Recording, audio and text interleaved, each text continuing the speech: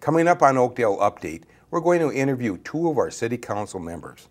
Lori Pulkrabek will be here to talk about her role on the Ramsey Washington Suburban Cable Commission. And Bill Rasmussen will talk about his thoughts on his first few months on the City Council. Stay tuned. Oakdale Update is straight ahead.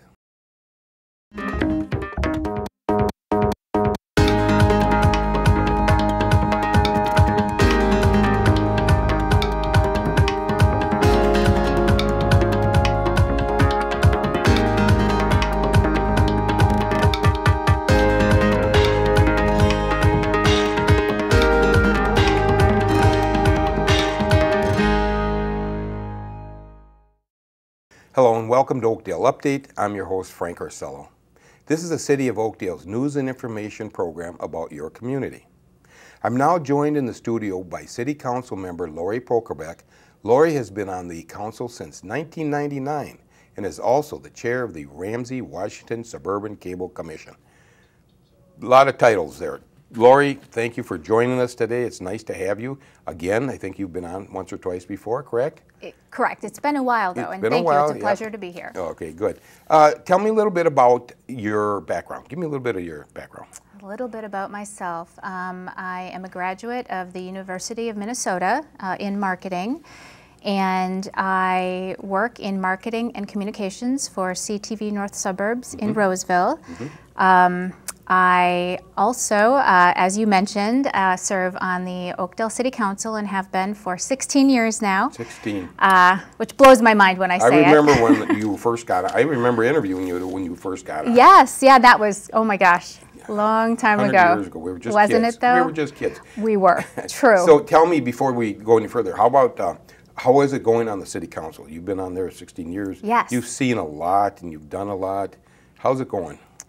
It's going great. You know, as I tell people, I think the reason that a number of us stay on for a while is that we get to work with such great people. Mm-hmm. Yeah. We are so fortunate to have a great group to work with, not only on the council, but also city staff and Mm-hmm. the community. It's truly a pleasure and an honor to be there.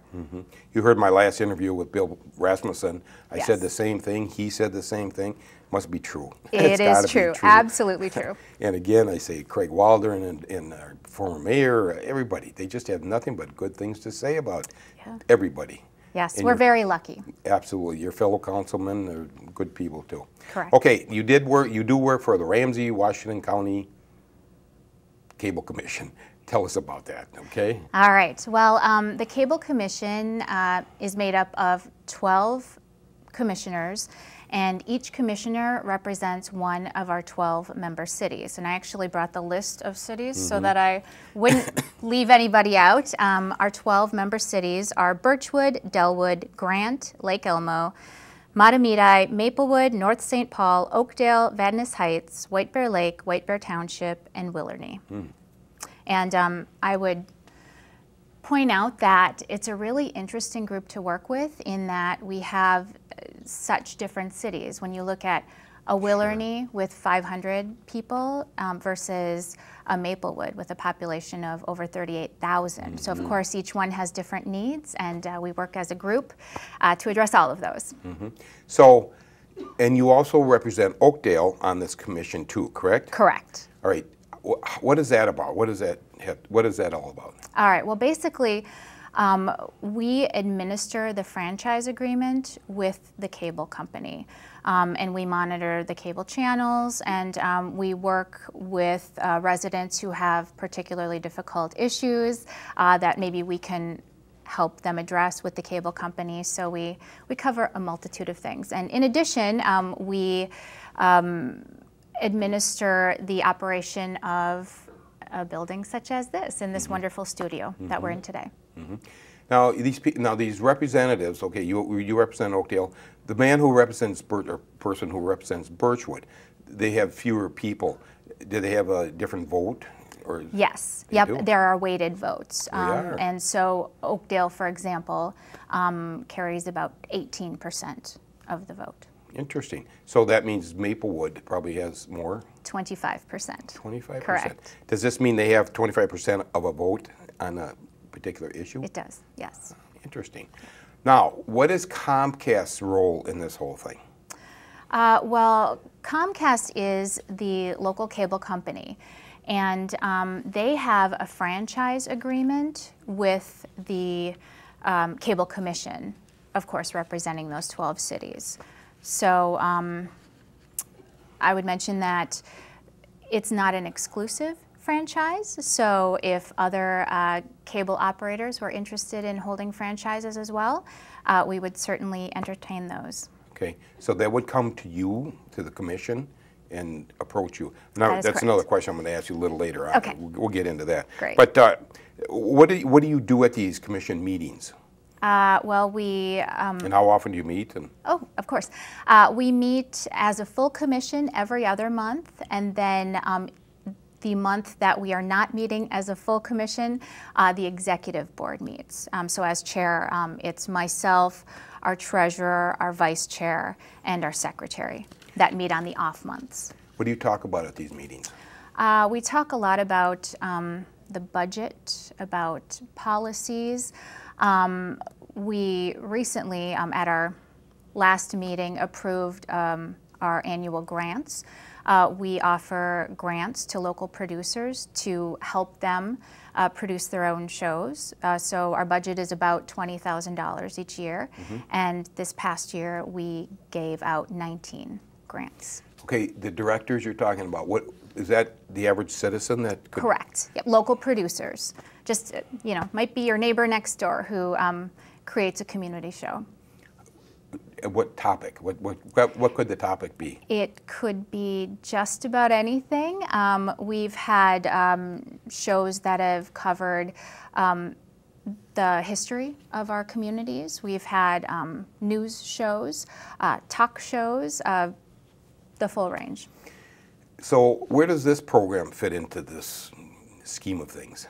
Um, Oakdale Update would uh, fit under uh, governmental in that it's um, yourself, of course, working with the city of Oakdale. So am I employed, or do I answer to the city of Oakdale probably, or, or could I just about do anything I want in this program? Um, Within reason, within FAA rules, I suppose, huh? uh, yep. Uh, it would, of course, not have or should not be libelous or slanderous. Um, and I, I'm very confident that you would uh, Yeah, try not. not uh, go beyond any lines in I those categories. Try, I try. It gets hard, but I try. So does that mean that if my neighbor next door wants to have a show about grass cutting, he could get on the air and, and get this put together? Is that, That is correct. Yep. And, and as I mentioned, we do have a grant um, program in place where he could also apply for a grant. That doesn't mean that um, he would get one, but because it's a competitive process. Mm. But uh, we have that program as well to encourage local producers Really? to create could programming. You, could you tell me some of the local programs that are produced in this manner? Oh gosh, um, now you're putting me on the spot. Um, I'm thinking over the years we had uh, one particular program about um, PGA golf courses Oh. throughout the state, actually. I think I remember that. Yeah, yes. which was a really um, neat show. And uh, like I mentioned, we've had um, a number of uh, shows about the history of our communities and um, talk shows, um, shows that um, discuss the arts. So just about anything. Wonderful. That's good. Yeah. Um, and where does this money come from for for that, for the grants and all that? Where does all this money come from? Great question. Um, when the cable company initially came to the metro area, decades ago now, um, they wanted to run their cables um, in the city's public rights of way. So the city's um, banded together in geographic groups. Um, so for us, it's our 12 cities in the Ramsey Washington counties Suburban Cable Commission, um, but they joined together uh, with a joint powers agreement and then formed a um, franchise agreement with that cable company so that in exchange for the use of those public rights of way, they would supply an operating grant and an equipment grant. This is Comcast you're talking about, correct? Correct, or at, actually, way back when it was a different cable company, but okay. today it's Comcast. Sure. Um, but yeah, so in exchange for um, running cables in the public rights of way, they supply um, operating and equipment grants. Hmm. And they then go to fund um, the channels that our local programs air on, and um, this facility and staff and um, everything you see here today. Interesting. I'm learning all kinds of stuff. Oh, today. good. That's the Wonderful. idea. now, uh, speaking of Comcast, I've heard that they and, and Time Warner were talking about a merger. How, how is that going, or what have you heard about that? Well, just recently, actually, um, the merger failed um, because um, Comcast and Time Warner are the two largest um, cable and broadband suppliers in the country, and um, they needed approval from the FCC to merge, and the FCC indicated that uh, they would not be approving that merger uh, for um, or due to the risk to not only competition but also innovation. And um, when Comcast heard that that approval would not be coming forth, then they um, withdrew their application. And uh, that merger is no longer going to take place. But how that um, affected us at the Cable Commission is that when they talked about uh, forming this merger, they then um, under federal guidelines would have been too large, so they needed to um, spin off some areas of the country, the Midwest being one of them, um, and our Twin Cities metro area. So that was actually going to spin off to a new company, uh, which was um, at one point named Midwest Cable and then was going to be called Greatland Connections. And that meant that our franchise, which was with Comcast, then needed to be transferred to the new company. So we had to approve that transfer, not only at the Cable Commission, but then each of our 12 cities had to approve that as well. So we went through that whole process, but then at the end of the day, the merger didn't happen anyway. So- Interesting. Interesting. So now we're just back to normal. Okay, I, and I misspoke before. I said the FAA, I meant the FCC. I know you I got confused. That's okay. Okay, uh, now, another thing I've also heard that CenturyLink is lur- looking to get into the cable franchise business, right? That is correct, and it's it's exciting that um, you know there may be competition, uh, whether it's CenturyLink or or another company, because our franchises are not exclusive. So there can be multiple franchise holders. Um, so yes, they've indicated an interest, and we'll be um, holding a public meeting about that in the upcoming months, and maybe our residents will have another option. Now, all these cities that are involved in this, do they pay you, the, the, your Ramsey County, Washington County Commission, do they pay you to have these shows? Uh, no, they do not. Say like a program like this, this is government oriented. Uh, nope, nope, they do not pay for that. No. Do, do we pay, do, does this facility pay the city to do this? Um, nope, it doesn't work that way either. Um, uh, as I understand it, the staff here at Ramsey Washington Mm-hmm. primarily does the work, and then the city, um, a city staff member also um, helps with some of the planning. But um, it's a collaboration I between the two. Now, one other, our last question, we'll run out of time here, but uh, Oakdale, the city of Oakdale is ready to upgrade all their televisions for the council meetings and that kind of thing. That's And if. I remember correctly, it's been about 2,000 years since they've done anything. anything? It's probably been a good 10. Okay, Yes. all right. So uh, what's, what's going on there? Well, actually, um, that has to deal with the Cable Commission as well, because uh, we um, have allocated an equipment fund so that our member cities can upgrade their equipment, and that money will be available um, this year so that we can purchase new cameras, because of course everything is HD now. Um, so we'll be able to purchase new cameras and um, some new equipment like a switcher and other um, items that are um, needing to be replaced. Um, so that's definitely something that we're looking forward to. Do, do all of these 12 cities that you mentioned, do they come to this studio here and do their broadcasting? Um, the residents of the cities, Well, the, if there's a program like this one, Oh. do they come, they come here and do all their? some do, or some um, create their programming on location. So they may create it from a city hall or a fire Okay. station or a police department. I've seen all of those scenarios. Real interesting. So then they bring cameras in to these particular spots. Correct. Do these people here that work here, do they go to these spots and do the filming? Yes. They do. Interesting. Lori, we are out of time, but All it, right. we, I think we covered a lot of good ground here I today. think we did too. It's been a pleasure. You did a fine job too. I am just hardly uh, confused at all anymore. Oh, good. no, you did a good job, Lori. Thank you for joining us today. Thank you, Frank. Okay. It's almost time for a short break, but first, here's our trivia question. The Oakdale Farmers Market is scheduled to start on Wednesday, June 10th at the Walton Park in the vicinity of Hadley Avenue and 16th Street. The Oakdale Farmers Market serves as a venue for consumers to purchase locally grown products that promote healthy lifestyles while sustaining local agriculture. Our trivia question is, what was the first year for this event? Was it 2006, 2008, or 2010? We'll have the answer later in the show. It's time for a short break. Don't go anywhere. We'll be right back with more of Oakdale Update in just a minute.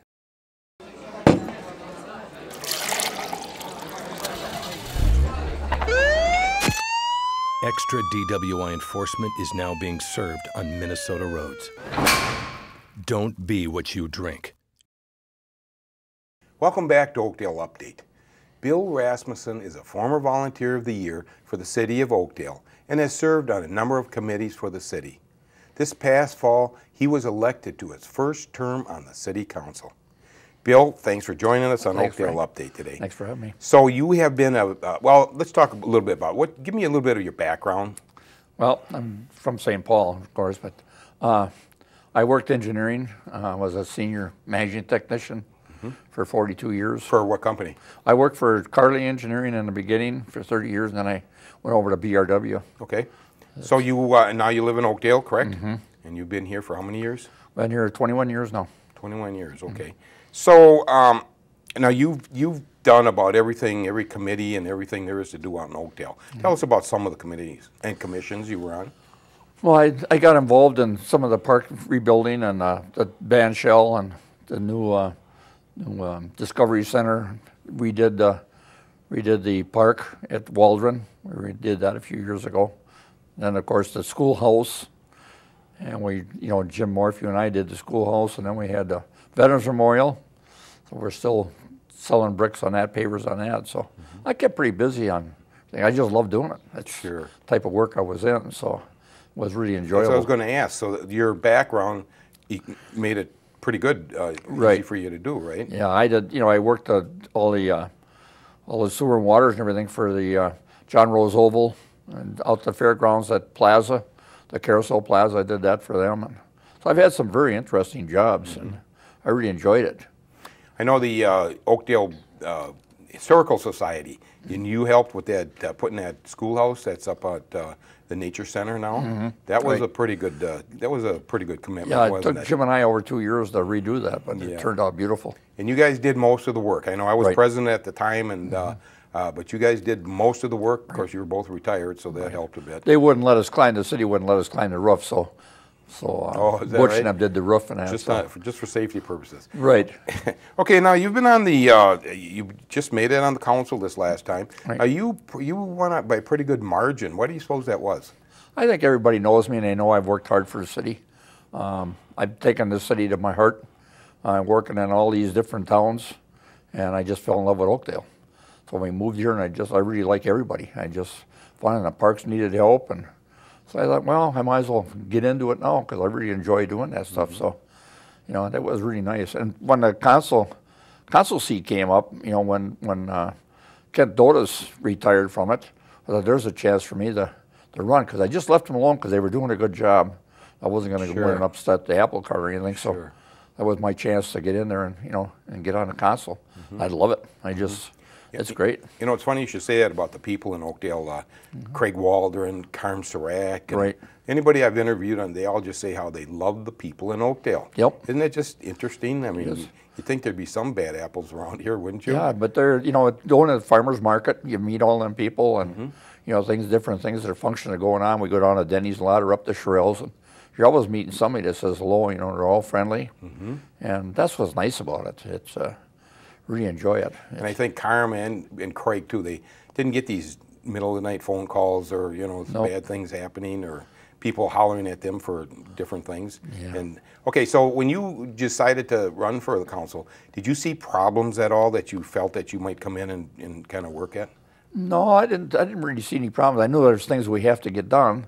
you know, like the re, uh, revitalization of some of the, the neighborhoods, get them going and that. And, and I was worried about the seeing all these little stores that are becoming empty because they couldn't afford the, the rent and everything else. And I, I was kind of worried about them. I, you know, the mom and pop stores, I'd like to keep them going if we can because they get pushed out with everything else. But uh, there was so many things interesting when I was on the planning commission. You know, like the market up there, we redid that. Hy-Vee's coming in there now. So I mean, there's really some good things. But uh, we still got a lot of things to do, and there's land to develop yet.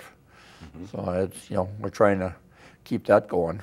So that's interesting because that was going to be my next question.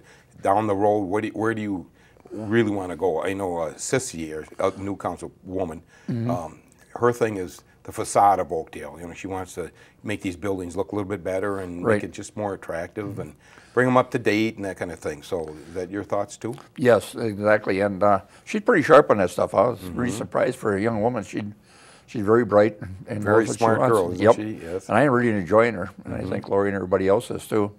So, How are you getting along with the rest of the staff at Oakdale? How's that? oh, I love the staff. You couldn't find a better staff. I worked in all them 40 some cities, you know, a different time, worked with different staffs, and Oakdale just comes out above, above everybody else. I've had some choices like Burnsville and Shoreview were real good to me, but uh, Oakdale staff is unreal. There's artistic, they, they know what's going on, and the guys are so nice to talk to. They're just friendly as can be.